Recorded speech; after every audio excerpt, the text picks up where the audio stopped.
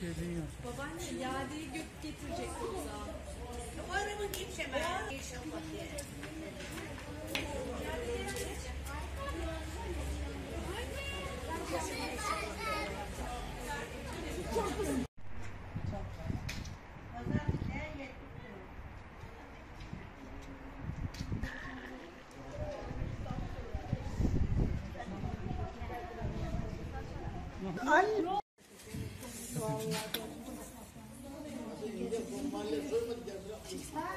Daha burada kazanları çalmışlar. Yeni abi de aşağıda.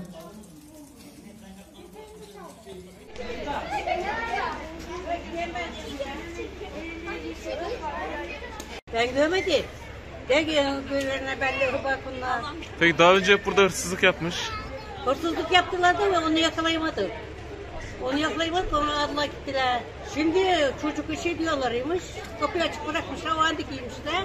O anda girince çay içecektik biz yukarıda benim kızlar. Benim kız telefon etti ben telefonu elimden kaydırdım. Kapandı.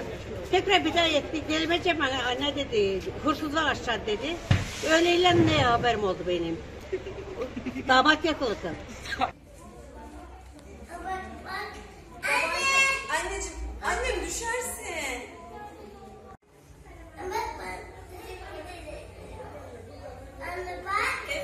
Anneciğim, evet.